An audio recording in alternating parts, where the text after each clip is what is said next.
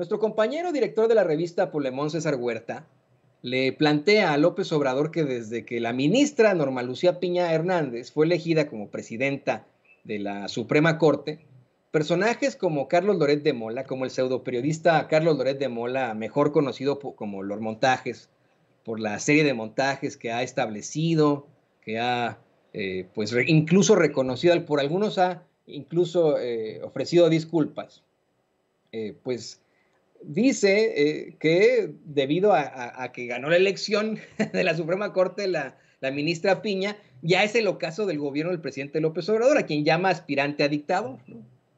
Dice que Ricardo Rocha, por ejemplo, incluso dijo que era su derrota política. Entre risas, el presidente López Obrador asegura que pues todo es con ese propósito. El decir que se va a debilitar su gobierno, como el pronóstico de Año Nuevo de Claudio X González, y como lo hizo Héctor Aguilar Camín precisamente, quien se equivocó una y otra y otra vez al decir que les iban a quitar el Congreso a Morena, ¿no? Y se equivocó al decir que les iban a ganar en la revocación del mandato. Se equivocó al decir que iban a quitarle las gubernaturas. O como esto que se inventó Loret, lo de las guacamayas, que aseguraban que ya por su estado de salud el presidente López Obrador estaba cascando, ¿no? Y que es lo mismo con esta diferencia que existe con el Poder Judicial, porque en efecto el presidente López Obrador ha sido muy crítico del Poder Judicial. Dice que pues simple y sencillamente están muy molestos, que Carlos Loret de Mola está muy, muy molesto, pero que no le ha podido responder o explicar cómo hizo tanto dinero, porque tiene como ocho departamentos, eh, entre él y su esposa, eh, de lo que se conoce, que no ha podido explicar que es, pues, uno, que es uno de los, que tiene uno de los departamentos más lujosos en todo México, así como una mansión en Valle de Bravo, a donde señaló que pues se puso de moda que se fueran a vivir los políticos, sí, cierto. Eh, el mandatario dice que Loret también tiene un departamento en el extranjero, ya se ha planteado en tantas investigaciones periodísticas, uno allá en Miami, y que pues después de explicar eso, Loret ya va a tener mucha autoridad moral y credibilidad, que si es posible, de pasada debería explicarnos cómo hizo el montaje en el canal de las estrellas eh, con Genaro García Luna cuando agarraron a Israel Vallarta y a Florence C. mientras el primero, Israel, quien sigue hoy en prisión sin obtener su sentencia, eh, estaba siendo torturado por Luis Cárdenas Palomino, torturado en televisión nacional y en, el programa de Carlos Loret de Mola. El presidente López Obrador comentó que Loret de Mola, pues es el ejemplo de que el nivel, de ese nivel de degradación de los intelectuales, eh, eh, es el mismo nivel de degradación en el periodismo. Y hasta puso, una vez más, ese montaje en Televisa, asegurando que seguirán enfrentándolos, pues hay que limpiar al país de corrupción, hay que purificar la vida pública. Aclaró que al contrario de lo que dijo Carlos Loret de Mola, que con la elección de la ministra Norma Lucía Piña Hernández como presidenta de la Suprema Corte, eh, era el ocaso de su gobierno, más bien se demostró que hay autonomía en el Poder Judicial.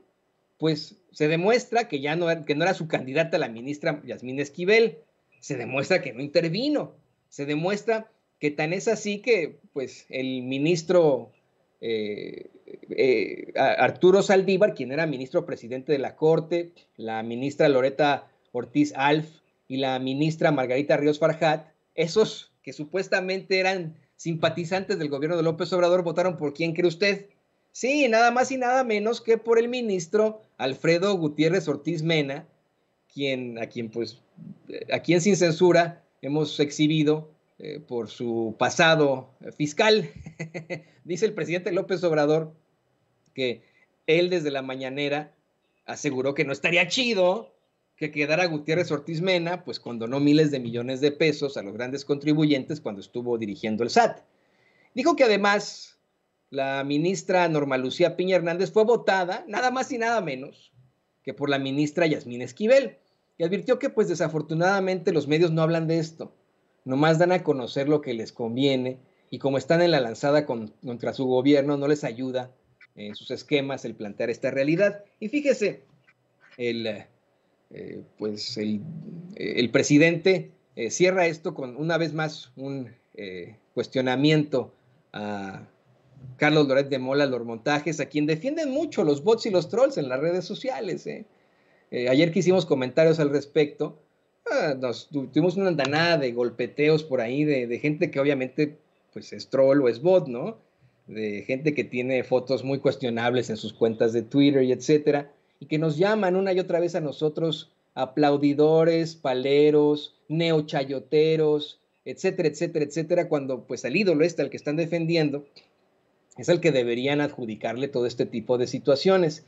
Quiero insistir en eso, queremos insistir en eso hasta el cansancio. Nosotros en Sin Censura no recibimos ni recibiremos prebendas del gobierno. No aceptamos la publicidad oficial. Nos parece repugnante, es antiética, es inmoral que pues un medio de comunicación o un periodista reciba dinero del gobierno. No está bien. Nosotros nunca hemos recibido un chayote, obviamente. Nosotros no pertenecemos a un corporativo. Eh, ahí está la realidad precisamente de Carlos Loret de Mola su cercanía con las esferas del poder. ¿De quién es cara Carlos Loret de Mola en estos momentos? ¿De qué medio? De la plataforma política Latinus, la cual Roberto Madrazo Pintado abiertamente dijo le pertenece a su hijo y a su yerno.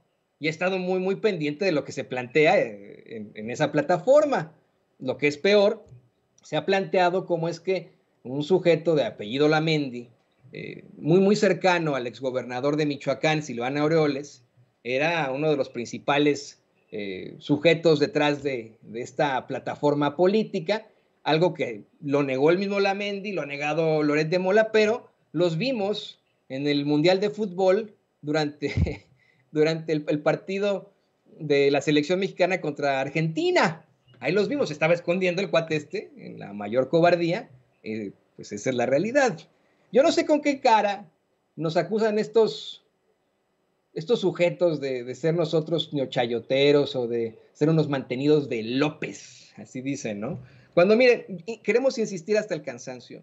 Nuestras opiniones completamente subjetivas, lo aceptamos, vienen desde nuestra ideología, desde lo que pensamos, no por lo que nos pague alguien. Nosotros no estamos aquí por la ambición barata de tener un departamento lujoso en Polanco, o una mansión en Valle de Bravo, o un departamento en Miami, Florida. Eso para nosotros es ridículo.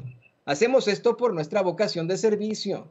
Y como estos, eh, pues, desdichados, sí se acostumbraron a operar obteniendo dinero de las esferas del poder, creen que estamos haciendo nosotros lo mismo y no es así. ¿Sabe por qué siguen existiendo estas élites del periodismo? Porque, insisto, desafortunadamente nos las impusieron. Así como tenemos a personajes en la política que llevan pues mucho tiempo ahí gracias a los contactos de sus papitos, como el gobernador del Estado de México, Alfredo del Mazo, cuyo papá fue gobernador, y muchos otros.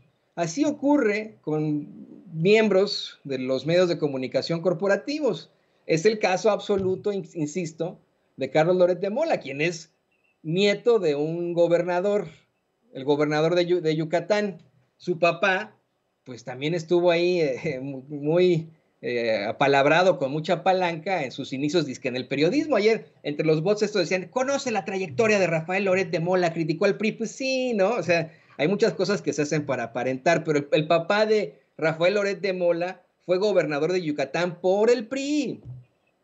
Y mire, siempre lo he dicho, ¿no? Me parece muy cuestionable que Rafael Loret de Mola, en su juventud, en sus años 20, obtuviera un programa de televisión taurino. Insisto, yo me, opongo absolutamente a la fiesta brava, pero sé que para poder ser comentarista taurino se, necesitan muchas tablas pendejas, ¿no? Pero bueno, tablas, se necesitan tablas para poder eh, ser comentarista taurino. Y a este cuate le dieron a los, en sus años 20 una, un programa taurino, imagínese usted. Y siempre estuvo, mal que bien, diciéndose el independiente, pero en los medios de comunicación, ¿no? Ahí estuvo como uno de los, de los principales que detentaban supuestamente la crítica contra el PRI. Su hijo, al graduarse del ITAM, comienza a trabajar en un medio precisamente de Ricardo Rocha, brevemente, y de ahí pasa a Televisa donde de inmediato lo, convierten en, corresponsal de guerra, algo que le insisto, ¿eh? Mire, no porque no confiemos en nuestros jóvenes, pero es algo que no existe en el periodismo. Para que una persona sea corresponsal de guerra se necesita mucho colmillo, muchas tablas precisamente, mucha fuerza. Eh, y ahí pues quedó exhibido nuestro queridísimo eh, compañero, legendario corresponsal de guerra Jaime Hernández. Nos ha revelado una y otra vez cómo es que fue el inicio de los, de los montajes de Carlos Loret de Mola. Eh, fue cuando le paga un tanque de la era soviética en Afganistán para poder hacer su stand, su stand-up, pues, ¿no? Donde hace, pues, supuestamente el reporte de su nota, pero que pues, estuvo unos tres meses ahí o menos en Afganistán, cuando una corresponsalía de guerra toma años, muchas lágrimas, mucho dolor. Y yo insisto, desafortunadamente son estos sujetos con los apellidos de alto pedorraje que dominan la política, el periodismo, los medios, el empresariado. Yo cada vez que surge un puesto en la política con uno de estos, digo, o en el periodismo, digo, ¿qué no hay otros? ¿Verdaderamente no hay otros? Verdaderamente como pueblo no podemos ser nosotros los que detentamos los principales micrófonos. No podemos ser nosotros los que detentamos los principales puestos. Pero bueno, creo que eh, esto tendría que quedar en nosotros, señoras y señores, en usted que nos ve, que nos escucha y en la educación que le da a sus hijos. Porque, insisto, por mucho tiempo nos hicieron creer que éramos menos por nuestro color, por nuestra raza, pues, si, se le puede llamar así, porque no existen las razas, por nuestro color, por nuestro origen socioeconómico, eh, por, pues, vaya usted a saber, ¿no? Nos hicieron menos. Pero hoy está muy, muy claro que podemos hacer un cambio y que podemos mandar a todos estos. Mire, si hay algún ricachón eh, de gran familia, de apellido alto pedorraje que verdaderamente puede servir a México, pues órale adelante, ¿no? Pero durante todo este tiempo, durante estos siglos que supuestamente han servido a México, lo han hecho muy mal. Esos de los apellidos de alto pedorraje, ya estamos cansados. Yo le insisto, le ruego que pues revise este y revise esto y reflexione con sus hijos para que pueda luchar por un mejor México. No estoy diciendo que, mañana se convierta un partido a otro, pero que participe, que exija, que fiscalice, nos fiscalice a nosotros, ¿eh? nos critique a nosotros, que usted eh, sea el que decida, no, no los medios de comunicación, no Vicente Serrano, no Antonio Ruiz, no Carlos Loret de Mola, no, no, no, que sea usted el que, el que exija y el que decida, el que tenga siempre un espíritu crítico. Y bueno, le voy a pedir por favor que se mantenga en línea con nosotros. Vamos a ir una, irnos una pausa muy, muy corta, pero regresamos precisamente con Vicente Serrano para el programa en forma ya de Sin Censura en unos momentos más. Así que eh, no se vaya a ninguna parte porque nosotros regresamos en caliente. Regresamos en caliente. Mm. No sea mal pensado. En breve estaremos de regreso en Sin Censura.